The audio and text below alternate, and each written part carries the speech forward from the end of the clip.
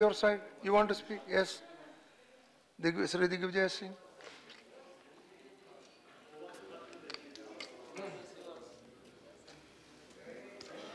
Dhanyavad Mohde. You. One second. No, no. See, the point is. Sir, I have no objections. Ms. Riji's name is there, but between you, you decide. I have no. Okay. He agree you agree right धन्यवाद माननीय okay please उपसभापति महोदय।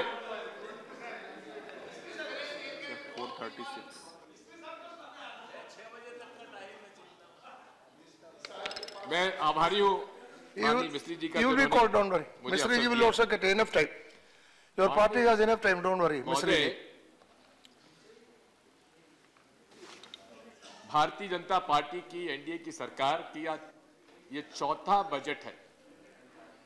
पाँच वर्षों के लिए चुनी हुई सरकार का ये चौथा बजट है और अगले वर्ष 2018-2019 में इनका आखिरी बजट आएगा। After Digvijay Singh, इन्होंने बड़े सारे वादे किए थे? लेकिन यदि आप देखेंगे कि इन वादों में से एक भी वादा ये पूरा नहीं कर पाए। पंद्रह लाख रुपए काला धन वापस लाकर लौटाने वाला जो वादा था, वो तो इनके माननीय राष्ट्रीय अध्यक्ष ने कह दिया तो जुमला था। इसलिए उसको मानने की आवश्यकता नहीं है।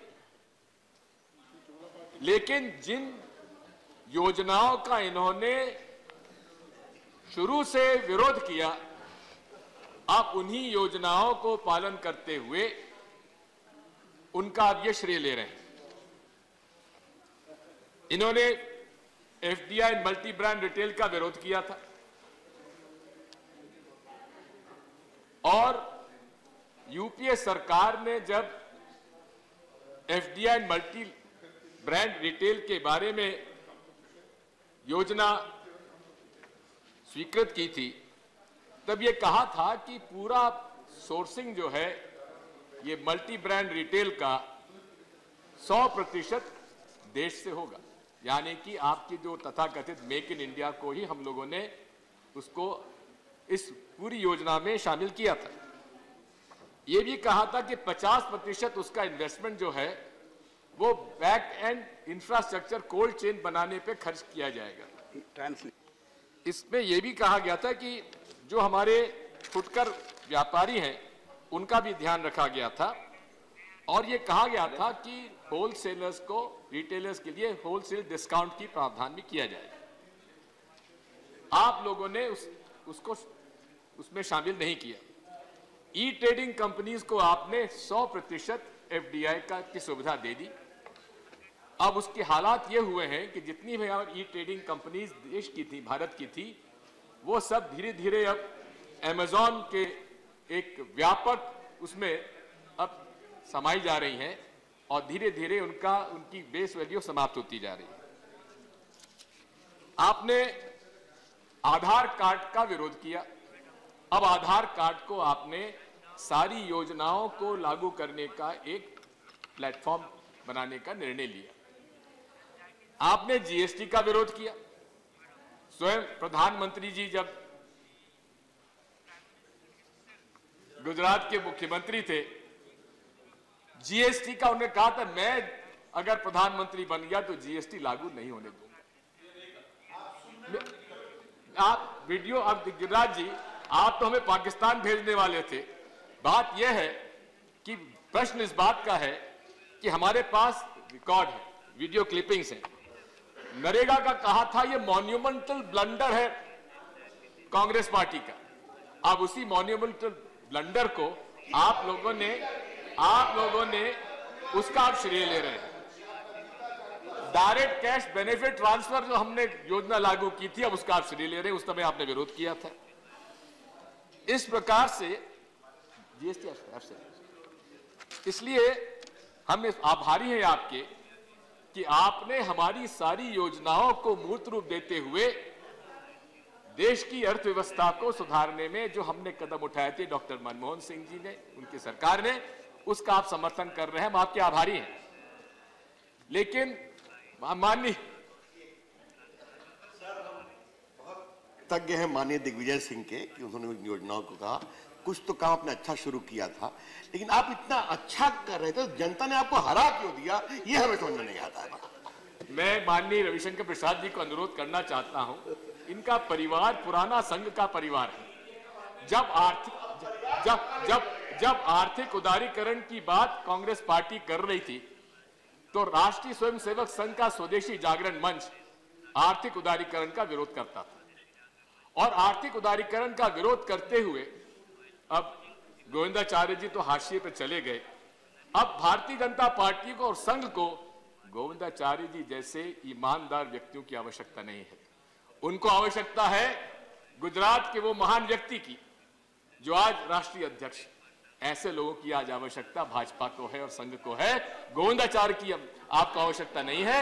आर्थिक उदारीकरण आर्थिक उदारीकरण का विरोध अगर भारतीय जनता पार्टी राष्ट्रीय स्वयंसेवक संघ का प्रचारक पहली बार प्रधानमंत्री बना और उस राष्ट्र राष्ट्रीय स्वयंसेवक संघ का प्रचारक जब प्रधानमंत्री पहली बार बना तो लोगों को इस देश में उम्मीद थी देश में उम्मीद थी कि भारतीय जनता पार्टी संघ का जो एक विचारधारा रही है मैं जब भी बोलता हूँ माननीय सभापति जी चेयरमैन महोदय न, न जाने क्यों मेरे मित्र जो भाजपा के हैं वो तेजित हो जाते हैं। मैं जो बात कह रहा हूँ गलत कह रहा हूँ। मैं ये कह रहा हूँ आपसे कि आपने आर्थिक उदारीकरण का विरोध कर कर स्वदेशी जागरण मंच का वर्षों तक आपने अभियान चलाया लेकिन अब संघ की विचारधारा भी बदल गई है। संघ ने स्वदेशी जागरण मंच की विचारधारा छोड़कर अब आर्थिक उदारीकरण के पक्ष में वे आ गए Five minutes, you have taken six minutes. Sir, sir, sir one hour left. You have given, sir, this is not fair. I will take 15 minutes, sir. Okay. Sir मैं आपसे अनुरोध कर रहा हूँ मैं वित्त मंत्री जी का भाषण का आखिरी पैराग्राफ पढ़ना चाहता हूँ? उन्होंने कहा है भारत में आमूल परिवर्तन लाने की शक्ति का संचार करने स्वच्छ भारत बनाने के तहत बजट प्रस्तावों की रूपरेखा प्रस्तुत कर दी है। अब हमारा ज़ोर किसानों, निर्धनों और समाज के अभावग्रस्त वर्गों के लाभ के लिए इन सभी प्रस्तावों को कार्यान्वित करने पर रहेगा। लेकिन माननीय सभापति महोदय, इनके कथनी और करनी में अंतर है। ये गरीब की बात ज़रूर करते हैं, लेकिन टैक्स किसको फ़ायदा पहुंचाते हैं? किस पर टैक्स लगाते हैं, ये आप पिछले चार वर्ष के जो बजट प्रस्ताव हैं, इनका आप आंकलन देख लीजिए। इन चार वर्षों में डायरेक्ट टैक्स यानी कि वो करदाता जिसके पास कर देने की क्षमता और शक्ति है, उसको तीस हज़ार करोड़ का फ़ायदा पहुँचाया। है तीस हज़ार करोड़ के कर उनके कम आपने किए। और गरीब जो इनडायरेक्ट टैक्स देता है आम आदमी पर जो टैक्स लगता है, उस पर आपने पचास हज़ार करोड़ का टैक्स लगाया है। आप कहते हैं, गरीब की सरकार है। अरे, आपकी सरकार उनकी सरकार है, जिनके पास पहले से धन है, राशि है, जो कर देने लायक है, उनको आपने तीस हज़ार करोड़ का फ़ायदा पहुँचाया है और आम आदमी को आपने पचास हज़ार करोड़ का भार उसके सर पे डाला है। मैं माननीय महोदय हमारे चिदम्बरम जी ने जो अपना भाषण दिया था, उसका उल्लेख करना चाहता हूँ। आज इस देश में इकोनॉमिक्स का एक नया अध्याय शुरू हो गया है, जिसको मैं जुमला नॉमिक्स कहता हूँ। जीडीपी ग्रोथ के फिगर्स अगर आप देखें तो यूपीए सरकार के आखिरी दो वर्षों में 6.1 और 6.9 परसेंट थे।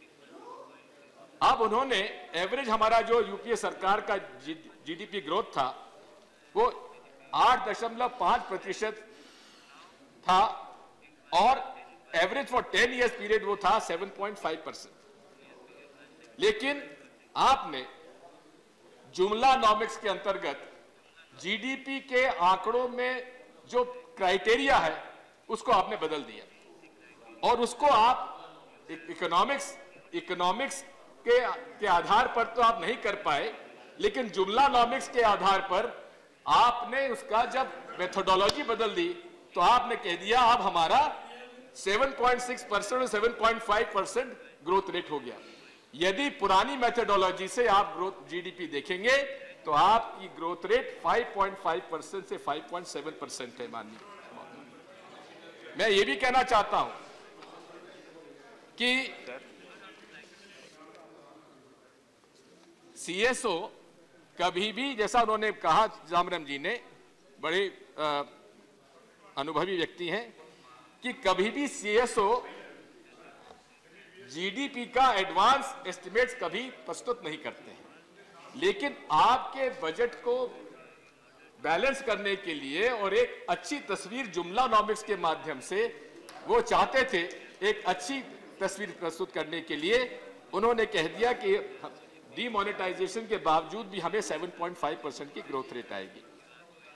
माननीय महोदय, मैं ये भी कहना चाहता हूँ कि किस तरह से जुमला नॉमिक्स के अंतर्गत कैपिटल, डिफेंस कैपिटल का हेड में रिसर्च से पैसा निकालकर उन्होंने डिफेंस कैपिटल में जोड़ दिया, जिसकी वजह से डिफेंस कैपिटल की ग्रोथ उन्होंने बता दी।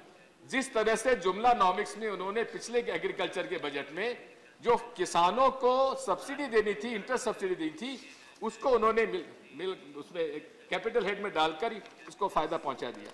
मूल रूप से मेरा कहना यही है कि इसी अगर आप देखेंगे तो गरीबों के हित में सोशल सेक्टर्स के अंदर जो बजट एलोकेशन है आप देखेंगे कि एजुकेशन नेशनल एजुकेशन मिशन का इन्होंने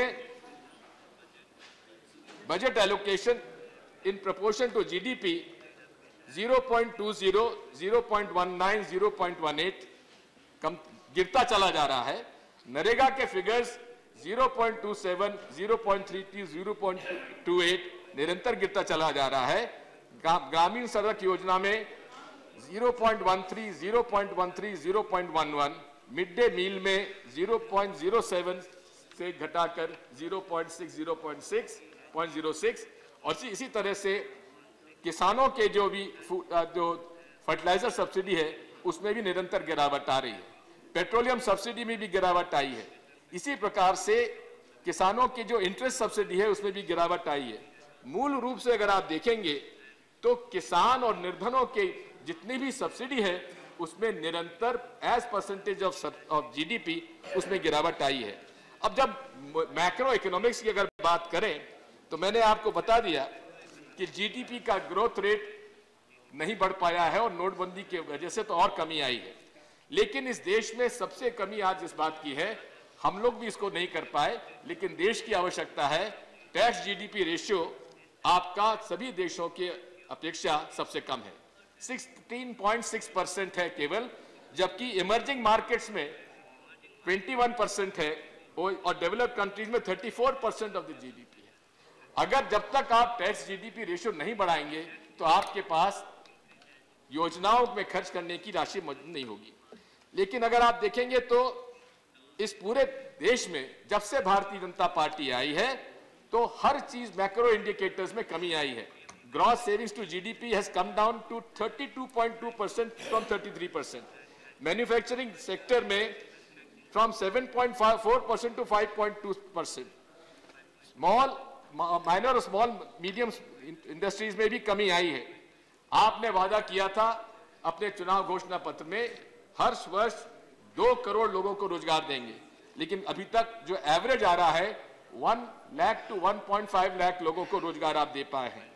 आपके प्लांट लोड फैक्टर जैसा कि जदाम रंजन बताया 59.4 परसेंट यानी कि जो बिजली घर सामान्य तौर पर 90 परसेंट प्लस चलनी चाहिए। आज बिजली है, लेकिन बिजली के खरीदार नहीं मिल रहे हैं। उपयोगी करने वाले में कमी है, जिसकी वजह से प्लांट्स को कट डाउन करना पड़ रहा है। इसी प्रकार आप देखेंगे, ग्रॉस एनपीएस में भी 7.8 परसेंट से बढ़ा, बढ़कर 9.1 परसेंट आपके दो साल में हो गए। आपकी क्रेडिट में भी नेगेटिव ग्रोथ है। जनवरी टू 2016 में 10.4 परसेंट ग्रोथ थी क्रेडिट की। अब जनवरी 2017 में 4.1 परसेंट रह गई है। मैं आपके जीएसटी के बारे में कुछ आपसे अनुरोध करना चाहता हूँ।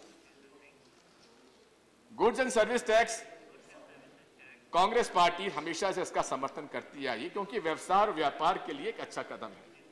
लेकिन इतना मैं आपको कहना चाहता हूँ कि इसमें जरा सोच समझ के सचेत करना चाहता हूँ कि सोच समझकर इसको लागू करना चाहिए। क्योंकि ये पूरा एक आमूल परिवर्तन है टैक्स स्ट्रक्चर में। और टैक्स के जो जमा करने वाले व्यापारी और व्यवसायी हैं जिनको इन, जिनको ये टैक्स भरना है उनको जब तक आप ट्रेनिंग नहीं देंगे जब तक एक कम्युनिकेशन कम्युनिकेट नहीं करेंगे उनको अवेयर नहीं करेंगे तो आपकी जीएसटी आसानी से लागू नहीं हो पाएगी। मैं आपके माध्यम से वित्त मंत्री जी को आगाह कर देना चाहता हूँ। जीएसटी लागू की गई थी कनाडा में। उस सरकार ने जो कि दो दो तीन बहुमत से जीत कर आई थी, लेकिन जीएसटी लागू करने के बाद वो न केवल बुरी तरह से हारे, लेकिन दो सदस्य उनकी चुनकर आए थे। हमारे लिए तो इस की हमारे लिए तो एक अच्छा एक विषय है कि जीएसटी आप में लागू सही ढंग से नहीं कर पाएँगे। मेरा तो अनुमान है कि अगर आपने इसमें समझदारी से काम नहीं किया तो आपको नुकसान होने वाला है राजनीतिक रूप से भी। मैं इतना आपसे और कहने वाला हूँ कि आपका पूरा बजट जो है ये मौजूदा टैक्स स्ट्रक्चर के आधार पर है। जबकि फ़र्स्ट जुलाई से माननीय वित्त मंत्री जी ने कहा है कि आप जीएसटी लागू करेंगे, यानी कि पूरा आपके जो रेवेन्यू फिगर्स हैं, वो बदले जाने वाले हैं। उचित तो ये होता कि आप इंटरिम बजट लाते 30 जून तक और उसके बाद जीएसटी लागू करने की जो तारीख थी, उसके बाद आप उसको लाते तो आपको रियलिस्टिक फिगर आ सकते थे। मैं आपसे ये भी कहना चाहता हूँ कि आपने चुनावी घोषणा पत्र में कहा था कि किसानों को उनकी लागत का 50 प्रतिशत का लाभ दिया जाएगा। स्वामीनाथन कमीशन की रिपोर्ट पर आपने कहा था, हम लागू करेंगे। लेकिन आज हालत यह है कि मिनिमम सपोर्ट प्राइस ऑपरेशन भी बराबर उनको नहीं मिल पा रही है। और नोटबंदी के बाद हमारे मंत्री जी यहाँ बैठे हैं, कुलस्ते जी, जरा बताइए मंडला के अंदर धान किस किस रेट में खरीदा गया? आप पता लगाइए, हमारे ट्राइबल मिनिस्टर यह विराजमान है, धान किस रेट पे खरीदा गया। पूरे पूरे और उत्तर प्रदेश में 900 से 10 दस सौ, ग्यारह सौ रुपए में खरीदा गया। और वो भी, व्यापारी कहता था, अगर कैश लेना है तो सस्ते में दो, और चेक लेना है तो हमको सस्ते में दो, और कैश लेना है, थोड़ा हम लोग महँगा देंगे। कहने का मतलब यह है कि नोटबंदी से बेहद नुकसान किसानों का हुआ है। इसी के साथ साथ मैं आपसे कहना चाहता हूँ कि बजट में इंटरेस्ट सबवेंशन का जो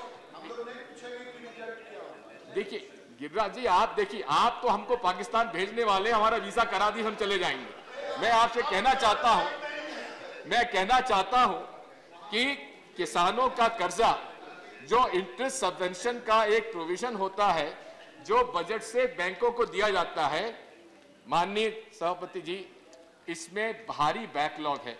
आज कई बैंक शिकायत इस बात की हमसे करते हैं कि हमको केंद्र सरकार का इंटरेस्ट सबवेंशन का बैकलॉग है। आप उसको आप इसको आ, मदद करें। मैं आप, आपके माध्यम से निवेदन करना चाहता हूँ कि बैंकों के साथ वित्त मंत्री जी चर्चा करके इंटरेस्ट सबवेंशन जो बैंकों को इंटरेस्ट का सब्सिडी देना है किसानों को उसका विशेष तौर पर व्यवस्था होनी चाहिए। मैं इसी आपका ध्यान आकर्षित करना चाहता हूँ कि अभी कल ही एस सी के एक प्रश्न पर कि जाधव कमीशन कमेटी के गाइडलाइंस के अनुसार जितनी राशि शेड्यूल का शेड्यूल ट्राइब में प्रावधान करना चाहिए था, वो नहीं किया गया। और माननीय मंत्री जी ने यहाँ बयान दिया कि इतना हमने अनुसूचित जनजातियों को इकतीस हज़ार नौ सौ बीस करोड़ और अनुसूचित जातियों को बावन हज़ार तीन सौ तिरपन तिरानवे करोड़ का बजट प्रावधान किया है और उसके अलावा 24 विभागों को अलग से किया गया है। माननीय सभापति महोदय, ये बिल्कुल सरासर गलत कहा गया है, क्योंकि आप यदि आपकी पुस्तक में देख लें, आपके बजट में इसमें लिखा हुआ है, अनुसूचित जाति जनजाति कमज़ोर के लिए आवंटन। सभी मंत्रालयों में अनुसूचित जनजातियों के कल्याण के लिए आवंटन। ये इकतीस हज़ार करोड़ है जबकि माननीय मंत्री जी ने हमसे कहा था कि ये तो है ही और 24 विभागों को अलग से किया गया है जबकि आपके ये बजट पेपर्स में कहा गया है कि सभी विभागों को मिलाकर इतना बजट किया गया। इसी प्रकार से अनुसूचित जातियों के लिए भी बावन हज़ार करोड़ का प्रावधान है जबकि कहा, गया था हमें मंत्री जी ने कि इसमें 24 विभागों को अलग से किया गया है। इस प्रकार का जुमला हम लोगों के सामने हर वक्त लाया जाता है। मैं अंत में इतना ही कहना चाहता हूँ कि इस देश में यह बात सही है कि जनता ने आपको मत दिया है। लेकिन जनता के को किए गए जो आपने आश्वासन दिए थे, जो आपने उनको वादे किए थे एक भी वादा आप पूरा नहीं कर पाए। ठीक है, चुनाव जीते हैं आप, उत्तर प्रदेश में, उसके बारे में अलग चर्चा करेंगे रविशंकर प्रसाद जी। लेकिन प्रश्न इस बात का है कि जब आप जिन वादों के आधार पर इस सरकार को आप चुनकर लाए हैं, उनमें से कोई वादा आप पूरा नहीं कर पाए। इसलिए ये जो ये जो आपका बजट है, ये किसान विरोधी है, गरीब विरोधी है, केवल बड़े बड़े लोगों के हित में है, इसलिए मैं इसका विरोध करता हूँ। धन्यवाद। Thank you.